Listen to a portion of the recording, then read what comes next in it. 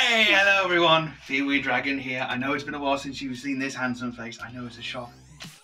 Anyway, a little bit of announcement. I am recently, for some of you who don't already know, I am working with the theatre company I'm part of, doing the, this year's production of Wizard of Oz. Now I know what you're probably thinking, Wizard of Oz, is he going to play Dorothy? No, fortunately not.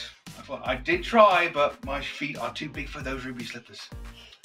But now I'm playing the next best thing. I'm playing one of Dorothy's little friends that goes along with her to see the Wizard of Oz. I'm playing the Tin Man. Now, for those of you who are curious, like, why is he mentioning this now? Because, well, because it's only a few weeks away when we take this show to the stage.